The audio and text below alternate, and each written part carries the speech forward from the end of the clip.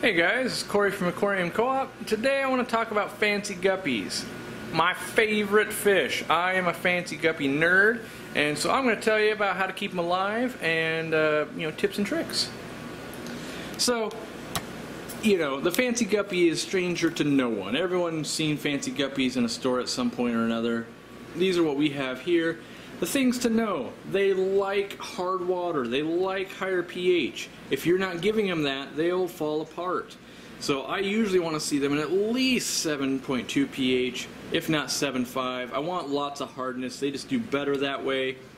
Uh, the males have all the color typically. You can get some females that have some decent color, but the males have what's called a gonopodium, so a little stick-like fin on the bottom of the fish. The females uh, are going to be less colorful, like this yellow one you, you're here.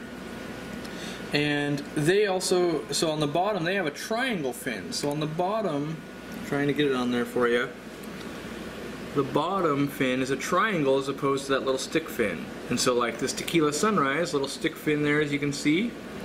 And then, if I can find that female again, where'd she go? Well there is, there she is. Right here, this yellow female triangle fin by the anal. Uh, so that's how you sex them. So color and then, you know, that fin is a much better determination, but you always want to keep more females than males. A good ratio to keep in mind is two or three females for every male you have. Now once you get up past 10, 12, 15 guppies, that ratio doesn't matter as much anymore because there's enough to spread it around. These guys are a live bearer. So if you set your tank up correctly with lots of hiding places and things like that, you will produce babies typically. Very easy to feed, will eat almost anything. So you can use flake food, you can use frozen foods, you can use pellets. They will eat almost anything. They'll pick at algae, uh, which that's nice. You can see them doing that on the filter. They were picking at some algae there. Great for a planted tank because they show off all that color against your green backdrop. Um, there's also specialized things like uh, you know strains of guppies that you can be breeding that stay true. Um, and there's basically a color. If you can think of a color, there's a guppy out there that matches it. They tend to be relatively cheap. You know, we've got them at four bucks here. Uh, they could be as cheap as two or three, or as much as you know a few hundred dollars if it's a specialty strain. Um, I would say smallest tank you really want to keep guppies in is a 5 gallon, and that's if you had like just a trio, a male and two females. But really a 10 gallon or more, 20, 30, 40, 50 gallons, all those are better.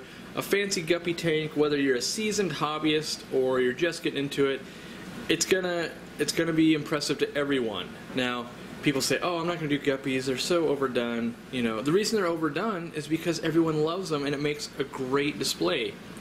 The things you want to watch out for is don't keep them too cold. Some people say, well, you don't have to heat guppies. You do. All these guppies are highly inbred to get these colors, and so they really do like to be 78 to 80. Um, so keep them warm, keep them well fed, keep their water clean. That's an important part. A lot of people, they let it overcrowd, they feed too much, are trying to save all the babies, and they get poor water quality. Then you get bacterial infections and things like that, and the guppies really just start going downhill. So you want to keep them healthy uh, by keeping their water clean. They do great with most types of fish, Corydoras, peaceful tetras like neon, stuff like that. You wouldn't want to put them with uh, other aggressive species. So like let's say red-tailed sharks, um, barbs, like tiger barbs, you wouldn't want to put them with any aggressive tetras. Nothing's going to tear at their fins. So this is, you know, definitely what you want for a peaceful aquarium. Lots of color, cheap, easy to maintain.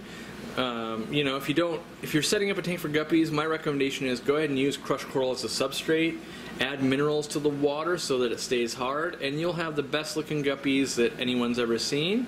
And uh, that's a good thing, and you'll enjoy it, and you'll make more. You'll never run out as long as you keep them healthy and you don't kill them. They will always be producing more. You can hand them to your friends, things like that. So fancy guppies one of the best fish. My personal favorite fish, if I had to pick one fish I could ever keep again, it would be fancy guppies because it gives me every color, gives me options, I can breed them, I enjoy it. Every day I love my guppy tank. So if you guys enjoyed this video, go ahead and like it. Subscribe to check out other species videos like this. We do uh, educational videos on bigger topics. We go see people's fish rooms, things like that. But thanks for watching, and we'll see you in the next video.